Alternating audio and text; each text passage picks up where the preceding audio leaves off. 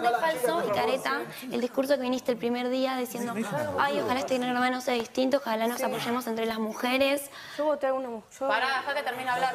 Y la verdad que con tus actitudes demostrás, te hundís sola, o sea, te pisás sola con lo que, lo que haces con tus actitudes.